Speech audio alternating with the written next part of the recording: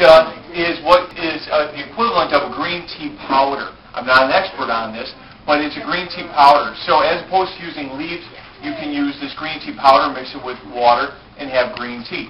What's neat about it, though, is uh, as opposed to leaves, you get the full nutritional value of the green tea because as it, it fully uses the product. So as a product, health, the health benefits of matcha are, are really great. But it's also a great flavoring agent. It's a very potent, concentrated form of, of uh, green tea. So to make my green tea ice cream, I go to the store, I buy Haagen-Dazs. I buy some Haagen-Dazs vanilla.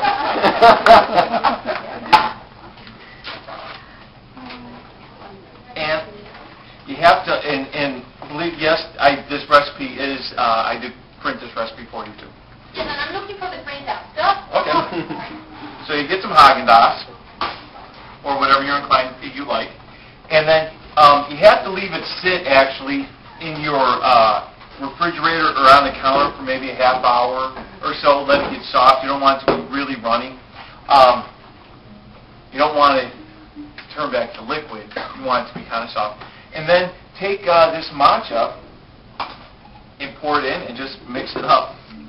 Now, the recipe that I gave you, uh, or the recipe Sophia's going to pass out, says about a teaspoon of uh, matcha. Yeah, that's not enough. It's more like a tablespoon. That's my typo. Okay, uh, and if that's not enough, then you kind of do it to taste. I find that for mixing this,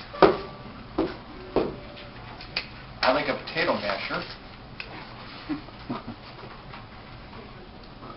and you'll be happy to know that I already made this.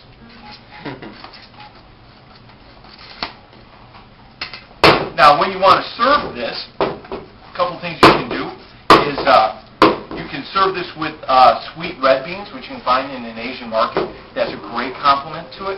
Or you could do it with uh, chocolate syrup, which is a nice American kind of flair to it.